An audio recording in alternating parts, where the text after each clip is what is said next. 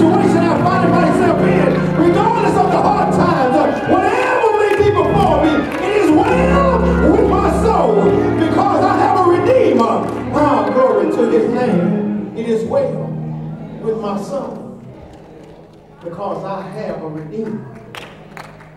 Ah, blessed assurance, Jesus is mine. Hallelujah, hallelujah. Praise the Lord. Give God a hand clap of praise. We thank God for such a melodious song. Amen. That's comforting to the heart. Amen, amen. At this time, we're going to move to our expressions. And uh, those of you who are listed on the program to give expressions, I'd ask that you come forward at this time to my podium on my right and to your left. And this time, are you here? Come forward, please. You don't have to just stand in line here behind the flowers, so and just go one at a time. You can go according to the program as long as everybody get their chance. Amen. God bless you. Please be a blessing to the family. Praise the Lord, church.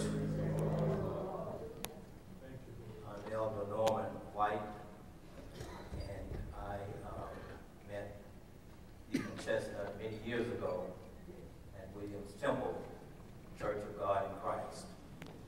Uh, we were in the same Sunday school class, and we were both uh, members of the board of directors.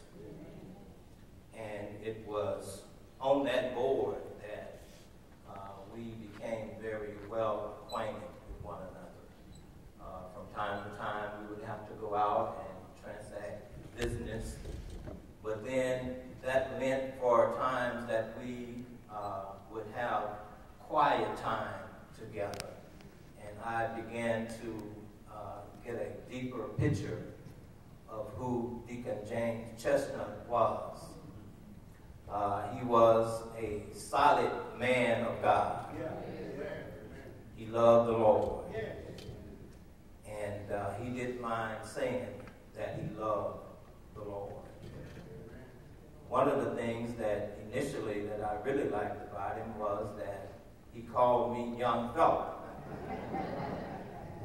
and, uh, you know, anytime that you are the age that I am, anybody that calls you young fella, you appreciate the compliment. But I got to know him uh, very well over the years, and as I observed Deacon Chestnut, uh, there were several things that were evident about him. Uh, the first thing was that uh, he loved his Lord and Savior, Jesus Christ. Uh, he walked the walk. He did not just talk the talk. The second thing is, is that he loved him some Hattie Chestnut. I don't care what kind of business we were talking about. He would always uh, bring it back around to his love, uh, the love of his life, uh, Sister Hattie Chestnut. And after that was his children and his family. He always mentioned his children and, and uh, their spouses, and especially his grandchildren and great grand. I don't know if there are any great greats right now, but uh, he was very um, uh, loving and he loved to talk about those things. I believe that Deacon Chestnut espoused to some of the philosophies of the Apostle Paul uh, in Philippians, the first chapter and the 21st verse. The, uh, Paul says, For to me to live is Christ, and to die is gain. He wrote Philippians uh, as one of his prison ministries uh, he was writing to the church. They were having some difficulties, and he himself was uh, a prisoner of the Roman guards. And when he wrote them, he told them, he said, uh, For you, it is better that I stay here and continue to witness and to minister and to testify and to preach and to reach back and to guide and lead this church. But he said, But for me, it would be better for me if I went on home to be with my Lord. And as I was reading that passage, the words of a song came to me that was sung, an old Negro hymn. Soon I will be done with the troubles of this world. Anybody got troubles? Anybody got any medicine in your medicine cabinet? Anybody got glasses on your eyes? Anybody had any heartaches and pains, any disappointments in life? The troubles of the world. But then she went on to say that I'm going home to be with my Lord. And the last time I read the book of Revelation, it said that there was no crying there, and that there was no tears there, and that God would wipe away every tear from our eyes. And what that really means is that there will be no reason to cry in heaven. We know, as Pastor Carl Davis said so eloquently earlier, that Brother Chestnut is with his Lord. And on October the 26th, he gained. God bless you. Amen. God bless you.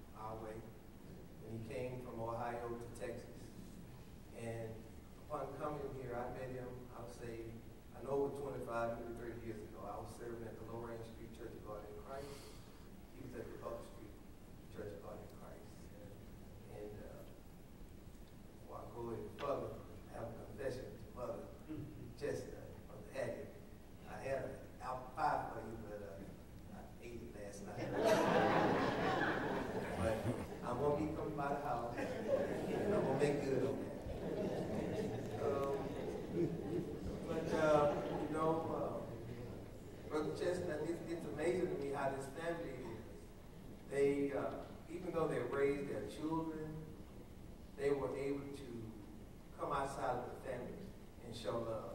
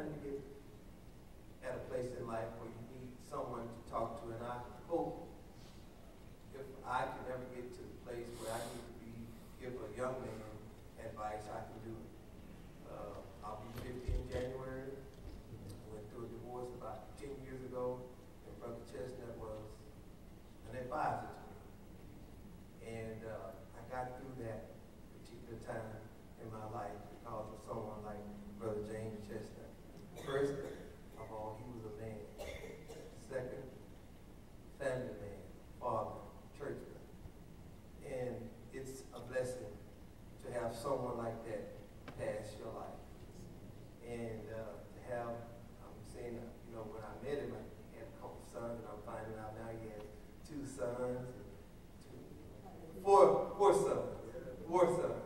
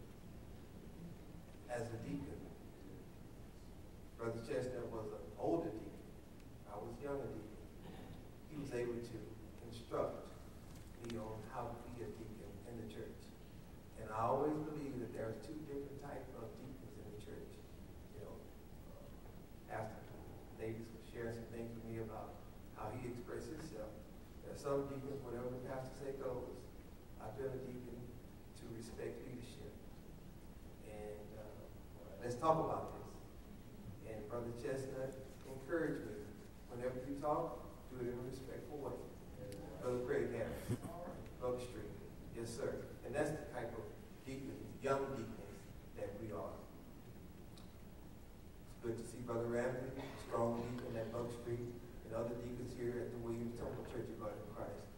Brother Plattenberg is here as well as Brother Johnson. Now, before I close, I'm going to say this here. Brother Chestnut, the reason I say he was a blessing to the Houston area is because he was good in bylaws and 501c3s. And Pastor Bouillon last night touched base, touched and talked about that.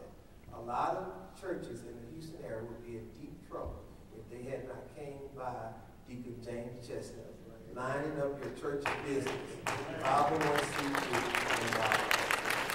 So uh, I'm just glad for that. And he also was able to help me get some bylaws together for my organization, which is Texas Southeast Men of Integrity. Praise God. Thank you for this time. Shameless plug. Shameless plug.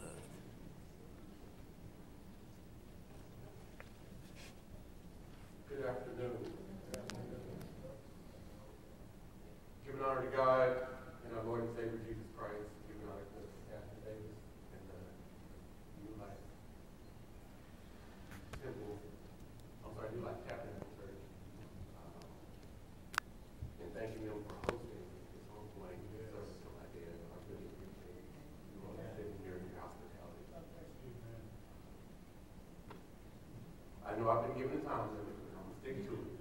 So I wrote some things down so I don't forget anything. Um, My words come from the thought, who was James Chestnut Jr.? And as, as I prepared my speech over the last week and listening to the uh, expressions last night, I realized that the answer really depends on when and where you met him. And who he was to you. Were you his wife? a family member, a child, a friend, a customer, a client, a church member, a stranger, or a combination of all of those. Well, here's an abbreviated short list of what I came up with in regards to who James Chestnut Jr. was in my eyes. One, he was an entrepreneur, a businessman, a boss. Over the course of his life, he started, ran many companies, most notably James Chestnut and Associates, and also Chestnut Payroll and Accounting. He made sure Chestnut was somewhere in the name of the company. You know, he didn't want Morris to be the only Chestnut with the name in light, so. He learned so much, I'm sorry, I learned so much of my business acumen from watching him. How to form, run, maintain, build, market, sustain, improve, innovate a company how to get clients, how to keep clients, how to let some clients go. And to do all that humbly with integrity and grace. He was a husband. I was blessed to have my dad with me for 39 years. And during those years, I was able to witness dad's love for mom. I saw the arguments. They called them lively debates but also saw the apologies and the tears that followed. I saw the joyful, blissful, positive times, the embraces, the hugs, the kisses. I see Bryson and Khalees watching as I love on Renee. And I know that Bryson is learning how to love. I'm knowing that Khalees is learning what to expect from love. Not till she's 40, because we're not starting. he was a son-in-law. I saw how he loved on Big Mama. Over the years, we would travel up to Cleveland almost every summer, every winter to check on her, on, on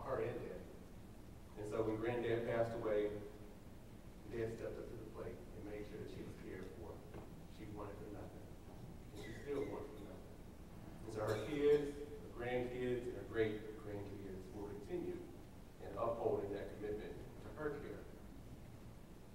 There was a father and a handyman. As a father, he was second to none. He was always actively supportive in all kinds of stuff for his kids and his grandkids, whether it be academics, sports, milestones, large and small, graduations, got a trophy at school, whatever it was. Probably heard mom from the stands yelling and cheering, but you saw over there clapping. The uh, decision not to let us play football in middle and high school was a big one for me.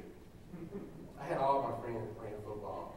I see Big Dave Boston in the back. I see Kobe over here. And so they, they, they, they, they laughed and teased, oh, but your dad not to let you play.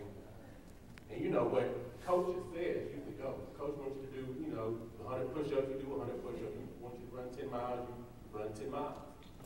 And dad said, no, you're not going to play. And so to know that him and mom was the one calling the shots, I never understood until I had kids of my own. And so I say what goes on and what doesn't go on with my children. And so I appreciate the effort for teaching that lesson to me. I remember the trips in the rotary truck. We learned how to use a key map. Yeah. The folks did. Yeah, yeah. I heard one year. I heard one year. and the value of hard work. Dad wasn't afraid of getting his hands dirty. And even though Mr. Alfred teased me that my days are now spent tapping away on the keyboard, if push comes to shove, I guarantee I'm down to some grimy, back breaking, callous causing work. Just let me know, Mr. A. I'm, whatever you got, I'm ready. He also made sure that he had us work during high school. I had my coaches hot. I would leave practice and have to go to work at Eckerd's. Coach hounded me every day. Chestnut, what's wrong with you? You're just an enigma. I don't understand. You don't need to be working. You need to be in there in, in the gym working and playing. Dad said, no, you're going to work. You're going to drive that big dog, the big gas guzzler. You got to go and earn your keep. The incentive. You want to take Renee out to Little Red Lobster? Little, little cheese biscuits? Cheese biscuits. Go earn your keep. Dad loved the RV. He loved camera trips. He loved outdoors. He loved building things. The snow slide up in Cleveland, the tree house on Waxwing. He converted the garage into a home office. The PVC pipe basketball return chute in the backyard. y'all thought y'all had somewhere where they were busting these shoot balls about the ball comes back. We had it in the backyard, a huge one. He didn't make anything out of PVC pipe. Oh, remember that? You know what I'm saying? But he mainly looked for James. His free throw was off a little bit. So he had to get a little extra practice in in the backyard. Oh, and he always had the backyard swimming pool set to about 98 degrees. Dad was a friend and a giver. I remember traveling around the country, staying and keeping in touch with family and friends, driving up in the RV on people's doorstep, not letting them know we're coming. We just show up on the, on the front porch. We here. How you doing? As a giver, I don't think I've ever met two people in life, family or friends, who sacrificed more than mom and dad, physically, mentally, financially, to ensure that the needs of their immediate and extended family, friends, and even strangers were met. I'm going to miss the after dinner cat and mouse game of who's going to pay the check.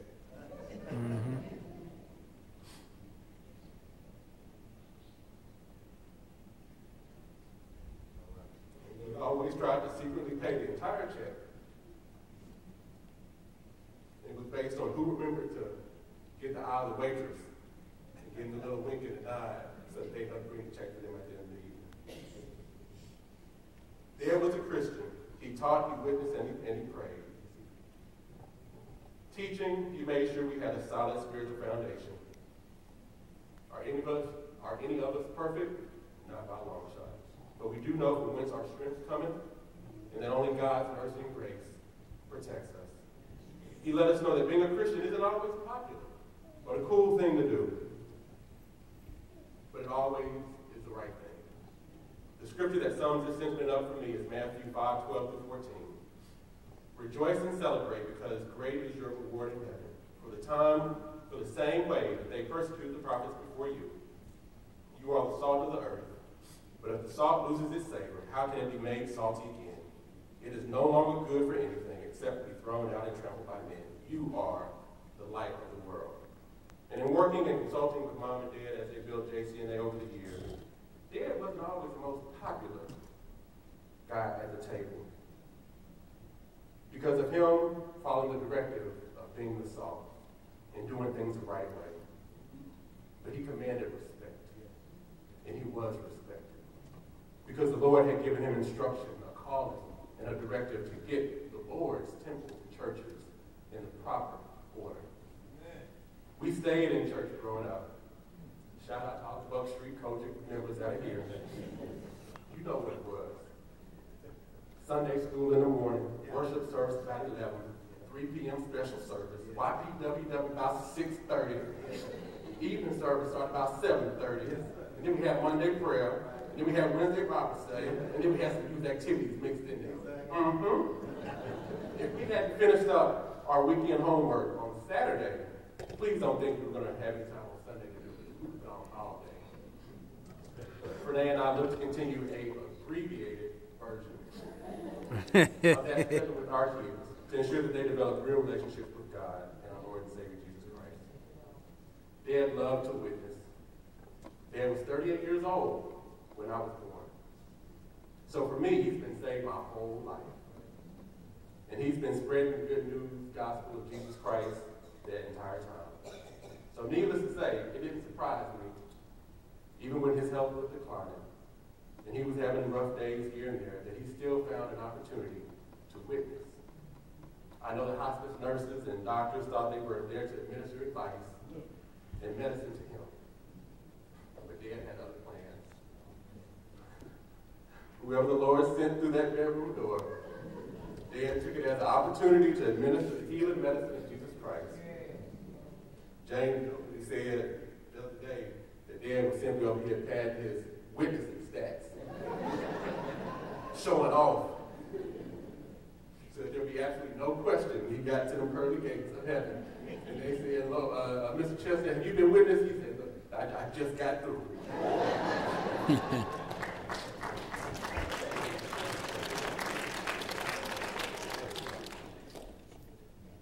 Dad prayed. One of the underlying things from last night's services at the at the wake service that I was surprised about, but not surprised about, is that mom and dad being prayer warriors. They taught us how to pray, privately, publicly, corporately, collectively. They demonstrated to us how to pray. They pray for anybody, anywhere, anytime. From elementary through high school, I remember circling every day before we went to school, before we walked out the door, we formed a circle. And we prayed and prayed and prayed. And mom prayed the blood of Jesus over us that no hurt, harm, or danger, our favorite word, no hurt, harm, or danger, follow upon my kids. And if we didn't do it then, then we, then we prayed in the parking lot as they dropped us off at school. And if by chance we picked up some friends on the way, they got a little prayed on too. Not just the typical traditional places that you're supposed to pray over meals and holidays and weddings. When I say anywhere, anytime, I really mean anywhere, anytime, right then, right there. In the grocery store checkout line, at the beginning of a business meeting, to set the tone for the meeting, at the end of a business meeting, to leave it all on one accord, whatever was said. We're on a phone call with a son who's 2,000 miles away at college, stressed out, struggling, on the rooftop overlooking downtown LA, trying to figure out what mess he done got himself into. They prayed. Well, first he told me to get off the rooftop. then he went and got mama. Then they prayed. So whether you did as a husband, father, friend, business owner, boss, giver, the one thing that I do know is that Dad was a man after God's own heart. And even though God's plan and my plan for Dad on this earthly, let me start over. And even though God's plan and my plan for Dad's time on this earth didn't match up, give or take, I was running up about 21 years. I have trust and faith in God's sovereign plan that James Chestnut Jr., my daddy, lived the life that God needed him to live. And it's now our duty to continue to digest everything that we've been taught and to go live our lives, our lives as God intended and instructed. Amen.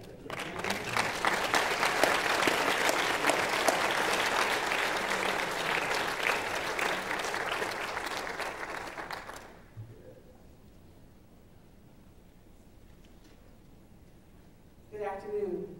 Praise the Lord. My name is Angela Ellis, and I am the daughter-in-law of Mom and Dad Chestnut and the wife of their son, George Ellis. I'd like to share with you a few of my most cherished memories and nuggets of wisdom from Dad Chestnut. On the first day I was introduced to Mom and Dad some 34 years ago, I remember I was greeted by Dad's big golden smile and one of the biggest and best hugs ever. This was quite a big deal for me because growing up, I never saw a man genuinely, genuinely show that kind of affection to anyone. I remember going home and telling my mom and everyone, they sure are some hugging people. but it was real. It was real. And I've been blessed to enjoy those bear hugs for 33 years. Another thing I loved about Dad was that he was a straight shooter. He said whatever was on his mind, especially when it came to Jesus. He was never ashamed to declare Jesus as Lord and that we must. Jesus was real to him. I remember him once saying that Jesus came first in his life, then came his family, and that the family was part of his mission field. Yes, family was extremely important to him. Mom, and the family were his pride and joy. He always said, I love you, and made sure you knew that you were indeed loved by the Lord. Now, he didn't only say it, he showed it. Honestly, I cannot remember any celebration, whether they be births of children, birthdays, anniversaries, graduation ceremonies, where they didn't show up. They were always physically there. It didn't matter how far away we lived, they always showed up when they flew, they drove, showed up in that big old RV, they were always there. Some of you grannies remember when Granny and Grandpa hosted all of you in Texas? You all came down at the same time, same time, about 13 of you. They gave us parents a break and some downtime. You almost didn't know what to do with it at first. But they allowed us married folk to enjoy ourselves and remember what it was like before we had our beautiful children. Now, this is a real love, 13 children at the same time. They showed us what real marriage was all about. They supported us with wisdom, with prayer, love, and simply just living it. The Bible says that a true man lives in complete obedience to the will of God and fully displays the fruit of the Spirit. He is temperate, self-controlled, values others more than himself, worthy of respect, stands firm in what is right. Dad was all of that and then some. Dad was indeed a good man. I just don't want to forget anything. So, Dad, I will remember your encouraging words, your fly hats, your fashionable attire, your entrepreneurial spirit, our discussions on current events and how they reflected what was written in scripture. Thank you for all you have instilled in us. Your legacy will continue in us. And to my mom, Chestnut, I do. On behalf of the family in Massachusetts who could not be here, please know they send their love and are praying prayers of comfort for you and all the family.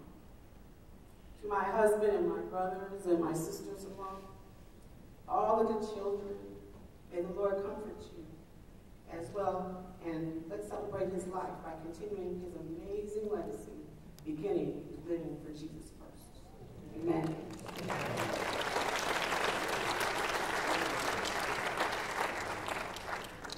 Praise the Lord, everybody. I want to take you back a long time to 1972. 44 years ago, James and Patty Chestnut first met. I was on the scene. Um, in fact, um, from my vantage point, I was kind of running um, the household. My mom was going through a relationship transition, and she She relied on me to take care of my little brother, Lamont. She relied on me to take care of our godmother, Clara Allen. So I was kind of the head of the household.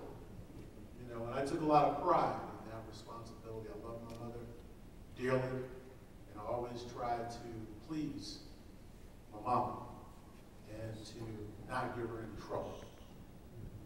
And uh, so I was a pretty decent kid. But there was something missing in my life. I didn't have a father. I never had had a father. I was 14 years old, never had a father tell me, I love you. I never had a father who took the time to take me places, to teach me things, to teach me how to be a man. So I know a lot of people have had a lot to say, but I just want to keep it plain and keep it simple. I love James Chestnut. With all my heart because he taught me how to be a man. And he loved me as his son, not as his stepson, but as his son. Day one. Took me under his wing. Teenager trying to survive the mean streets of Cleveland. You all know what the mean streets of Cleveland are like.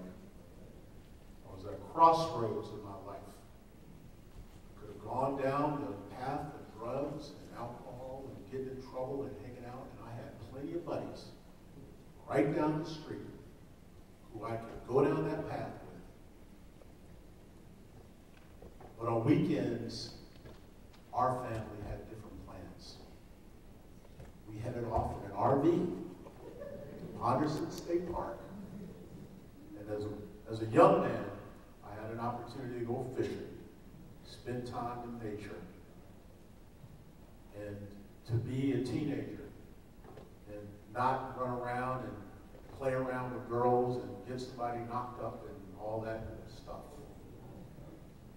The other thing and the most important thing is my mother my father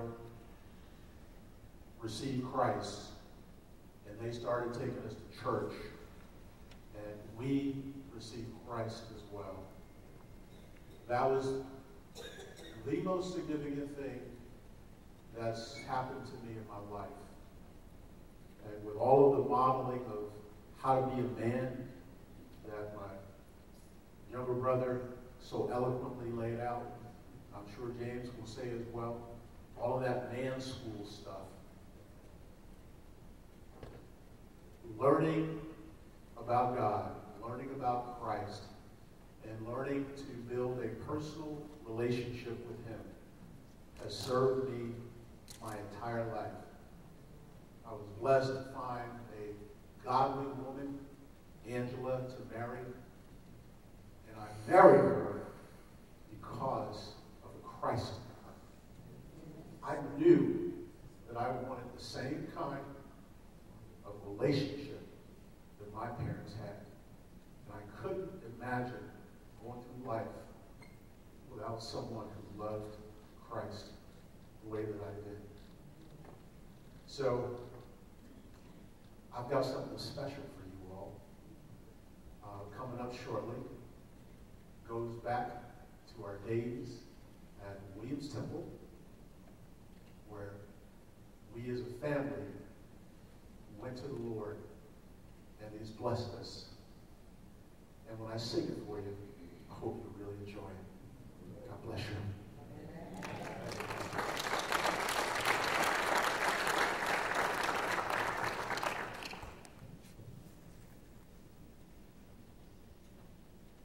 Good afternoon. My father, James Chestnut Jr., he built a legacy. The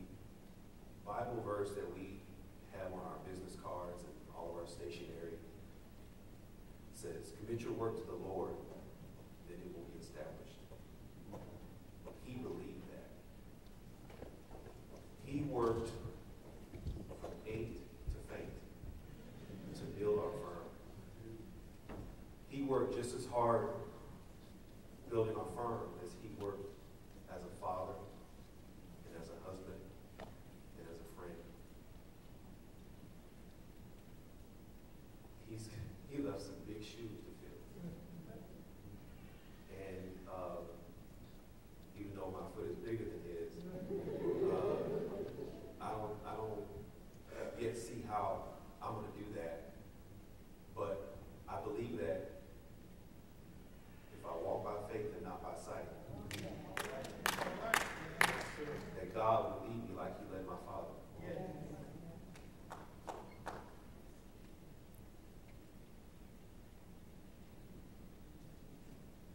One of my favorite things, I was, I can't even remember a day since he passed that I haven't done this, and I probably should stop. But I keep listening to his voicemails that he's left me. I work really hard not to miss any of his calls, but occasionally I did. And every call, every message that he left, he would say, hello, Mr. Chestnut. Miss you, Dad. As if I wouldn't know that. And right up until, right before you passed,